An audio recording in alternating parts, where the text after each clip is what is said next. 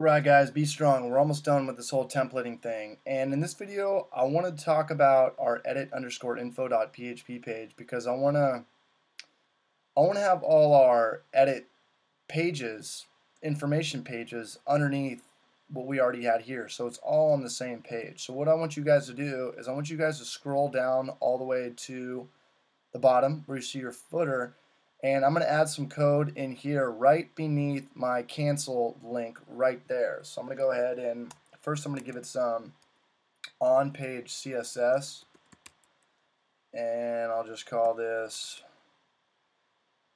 we'll give it a, a top padding or margin.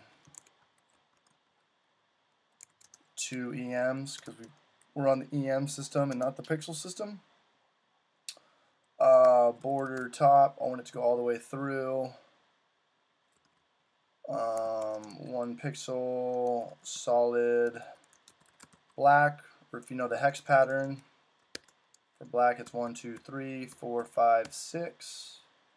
Let's go ahead and close that out. And before I forget, I'm going to put my div tag, I'm going to close my div tag right there. And okay.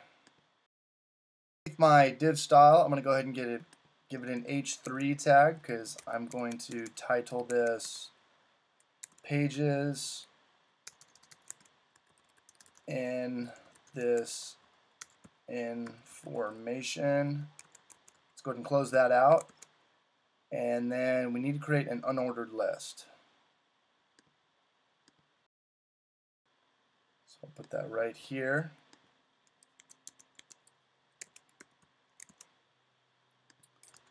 And I'll go ahead and close that out right here. Okay. Now, in order for us to return our data, we need to create some more PHP, and there's not that, there's, there's not that much more PHP that we need to code, but there's still some. So in here, I'm going to go ahead and give info pages equals get pages for info, the function that we have been using, and then our cell table 1 table, and let's go ahead, uh oh we got a index our ID in single quotations right there. Let's go ahead and close that out. Now, line down, I want to go ahead and run a while loop. So while page, is it page or it's a new variable, we'll just call it page, SQL fetch array. This is the PHP function where we use our return data, if there is any. And what is our variable right here? Let's go ahead and grab that. Plug that in just like that. Okay. So let's go ahead and execute what we want to execute. And in this case, I want to go ahead and echo our list item, HTML link tag,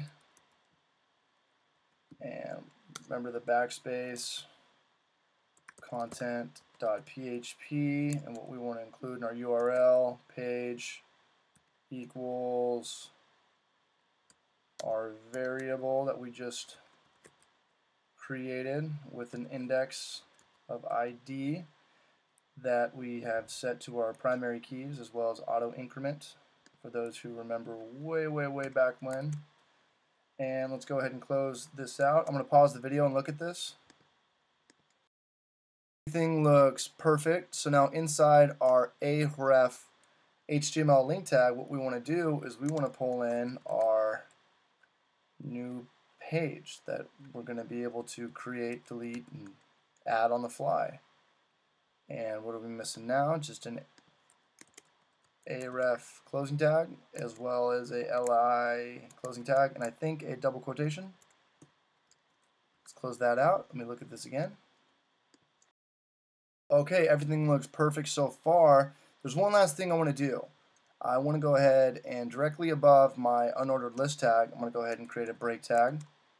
And under here, I'm going to go ahead and create another link that's going to link to the page we created, our new underscore page dot php page. New underscore page dot php with our query string of info equals um, php echo um, cell table with an index of ID and let's go ahead and close this out. And I still feel like we're missing something. We are double quotations as well as another greater than sign.